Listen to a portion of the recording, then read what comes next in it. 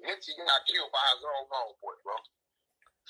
But Nipsey know you wasn't that. You ain't that type of nigga. You don't even do nothing. You ain't never put work in fucking with a nigga that's a body man. Everybody know dude's a body man. I've been saving his career, bro.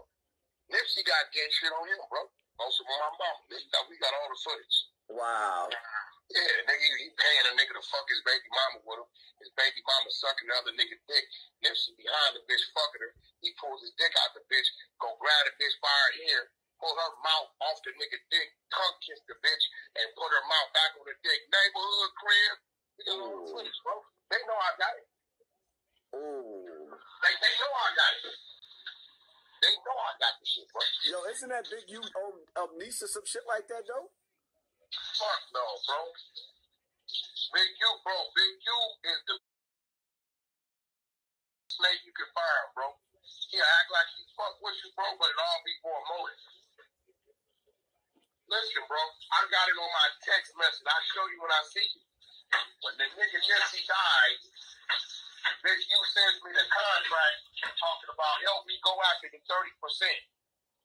I say, bro, you wasn't going after 30% when he was alive. You feel me? Right. What kind of shit is that, bro? See, I've got all kind of shit. If I wanted to like expose niggas, I could, bro. That's why, look, think about it. Even in the Jim Jones interview, he only went so far. He dibbled it down. You know, me and you, we going direct. Yo, fuck this nigga right here.